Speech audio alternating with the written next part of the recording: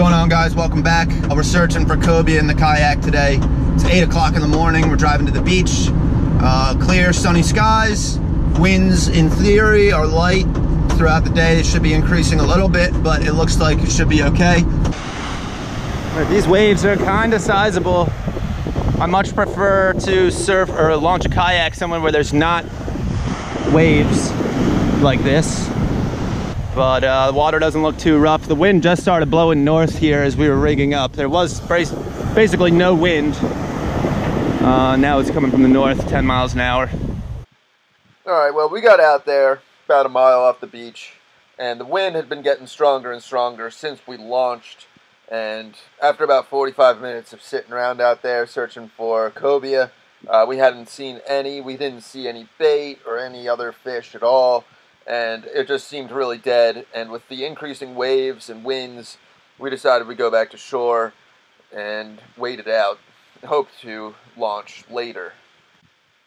All right, so we sat right outside the surf zone here for a little while, trying to time, you know, landing the kayaks on the beach because if a, even a small wave can surf you and roll you in these kayaks, and you kind of have to be pretty careful.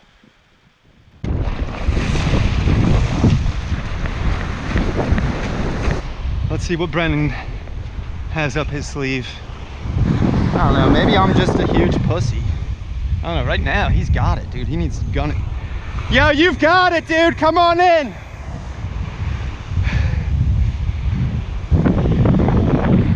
Oh yeah, he's looking all right. Somehow that one though, eh. Oh yeah. Oh, so you got it. Oh, fuck. Alright, that's what you don't want to have happen. Brennan got chewed up by this wave and rolled pretty bad. Holy shit. Holy shit, are you alright?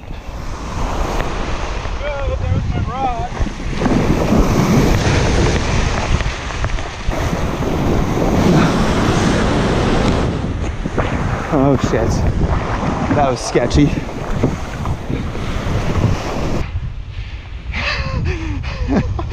Oh man, see that's what you don't want to happen. We knew it was happening. So, Brennan had lost a fishing rod slash reel that's rolling around in the waves somewhere. He also lost his GoPro and his sunglasses. And I took his other rod and just started throwing his epoxy jig, hoping to snag, you know, something that he had lost. All right, well, I got so lucky. I'm gonna get one. All right, I'm gonna get a bunker snag. We're gonna try to salvage. We're gonna try to snag Brennan's rod. It's, gone. This wouldn't be the first time. Rolled in the wash, lost the rod, and re-snagged it with a bunker snag. Has happened before.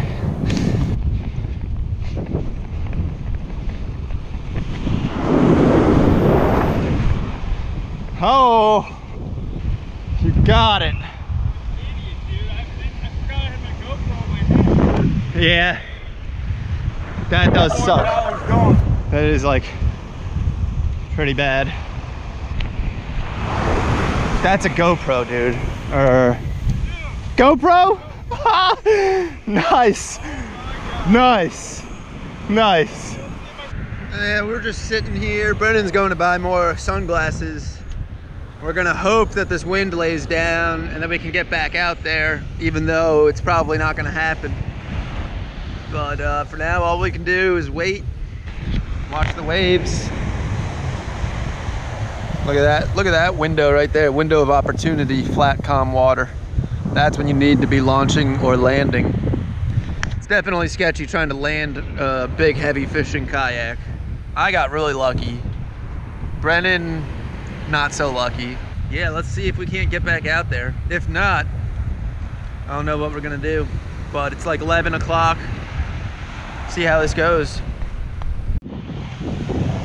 Or we've waited long enough. It hasn't laid down too much, only a little bit. I don't know, we're gonna go for it.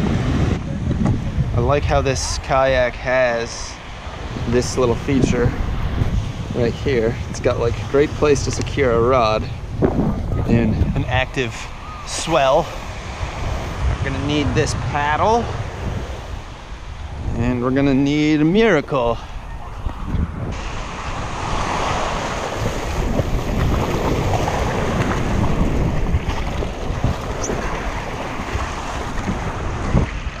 This wave, small wave, small wave. All right, take two. All right, we're gonna get beat up here by the wind and the waves, but it's all right. It's all right. There are a lot of Spanish macks, a lot of little bluefish, and maybe some, oh, spinner shark. I don't know, a lot of life, a lot of life. Great visibility.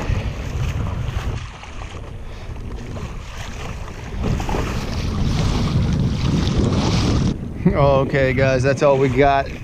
Humbling day on the Cobia grounds. Actually, the last time I was out here too was humbling. I had a couple shots last time. Didn't produce any cobias either time. I got everything strapped in, so if I do roll, in theory, I should be good. I think behind this one. Yeah.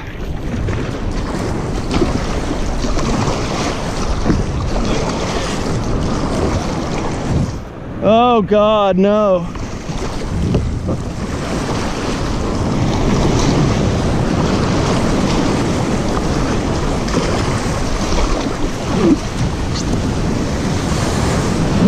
All right, pretty smooth.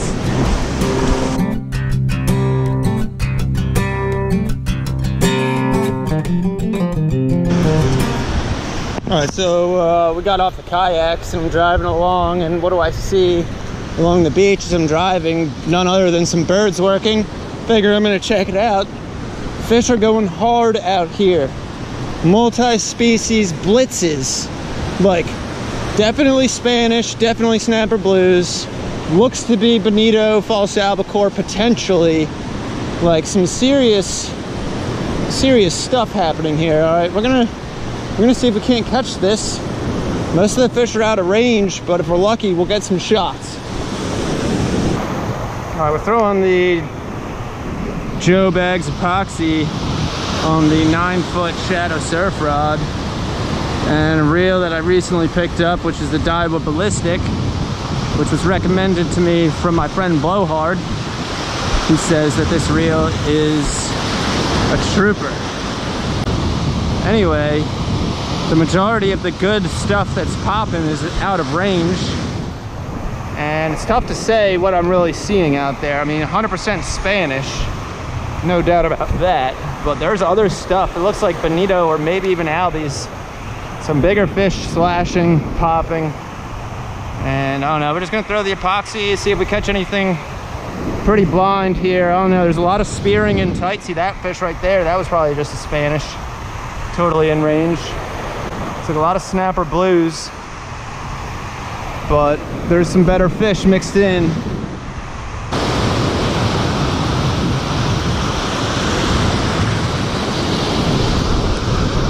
Let's see what that is. I'll let it sink down. I'm hooked up. It's probably a bluefish. We'll see though. Swimming fast at shore. That's a Spanish. All right. All right. Not bad, not bad. little Spanish mac from the beach. Oh.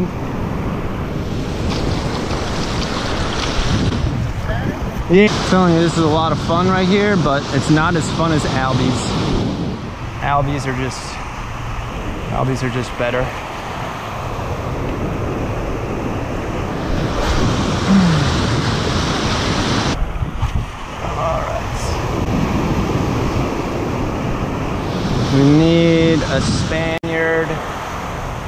so we can blacken him. Read him with butter. Butter, Old Bay. That's what we need. Oh, bluefish. I'm not gonna eat any bluefish. No sir. Needs to be the sweet meat of the Spanish.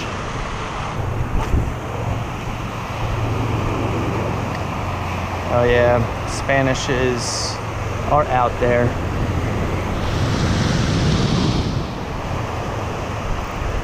Let's see what that is. Come on, dinner.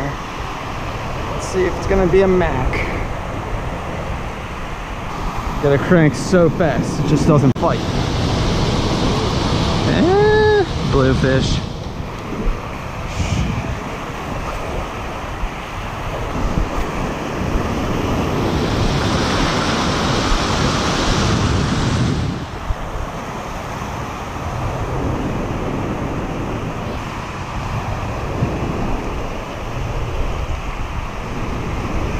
This thing hits so hard.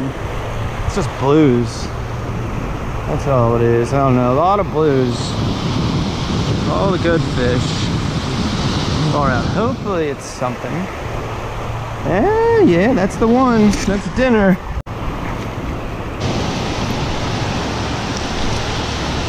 All right, Spanish mackerel for dinner. That's how it's gonna go. Oh. Oh no. All right, let it go. Uh-uh. All right.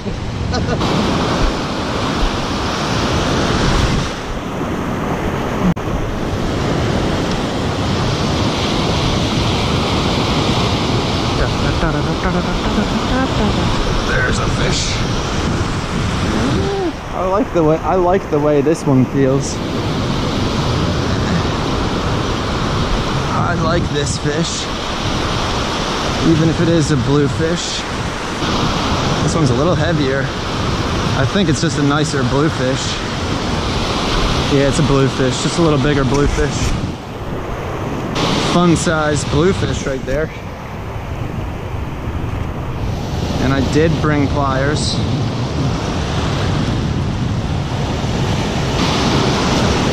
All right. See ya, dude. Another fish. Yeah, I think some, I think some nicer blues came in.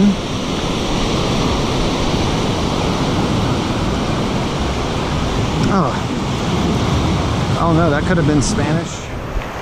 Could have been blues. They're going off though out there.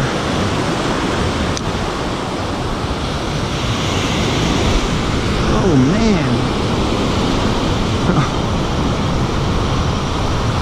Blues are thick out there. Spanish? Hey, Spanish. All right. All right. It's actually it's actually an awesome end to the day. Look at this Spanish mackerel. It's pretty cool. I'll take it. That's enough for dinner there. That one's a little nicer. And we're gonna go ahead and bleed him too. He hit on the fall, which is interesting. It's been quite a summer season here in the mid-Atlantic slash Northeast. I mean, for the Spanish to be around in this number, I mean, it's kind of unusual. And I hope that in the coming years, like it continues to happen, the cobia too, you know, the cobia and the Spanish, I hope they keep showing up in good numbers in the coming years, but it really seems like both species are doing pretty well. I know down in Virginia, uh, the Spanish mackerel fishing is really good this year. And uh, for New Jersey, Long Island, and points south to have them from June on, it's been a treat. Definitely unusual, but welcome treat.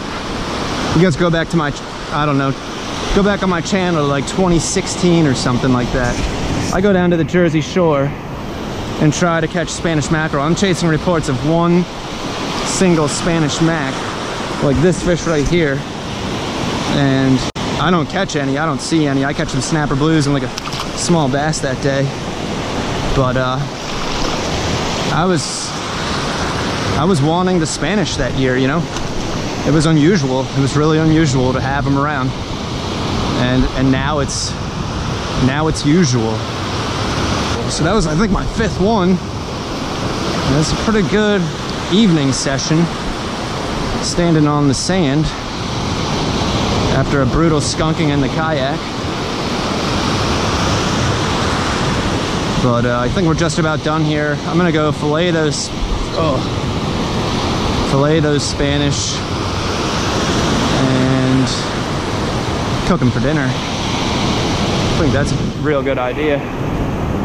All right, we're cleaning up that Spanish mackerel here. Yeah, these things have like a natural sweet flavor that I haven't really tasted any other fish that have a natural sweet flavor like Spanish. A little oily, but it's more that like sweet flavor. I don't know. Might be tough to explain, but you know. All right, so there's the Spanish mackerel. We're about to cook it. We're gonna cook it in a pan. And uh, first thing we gotta do is get some salt and pepper on that. A little bit of salt.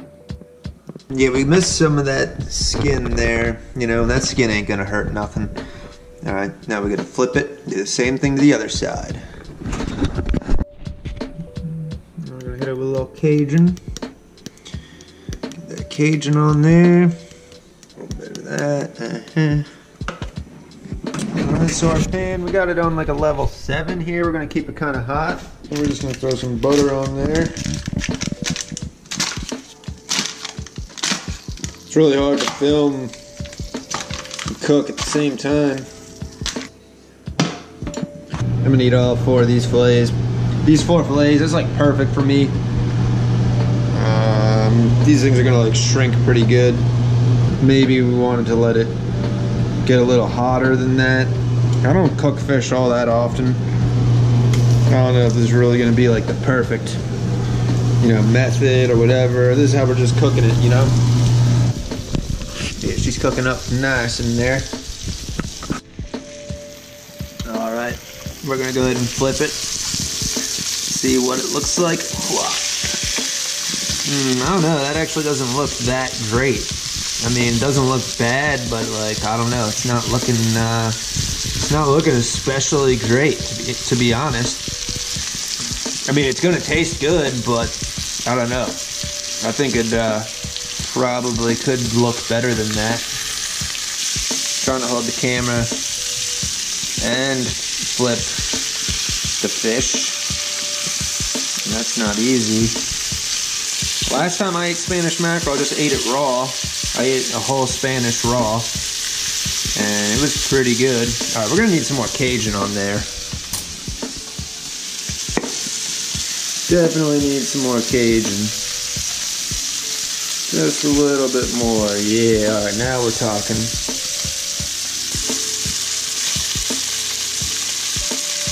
That one's looking a little better for some reason. Oh yeah, so these three are definitely done. That one's probably just about done. I'm gonna get them on a plate. Hmm, it's looking a little better right now. Let's go ahead and see what that tastes like.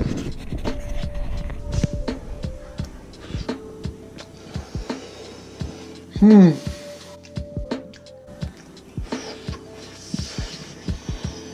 Mmm. It's so hot. Oh. Oh.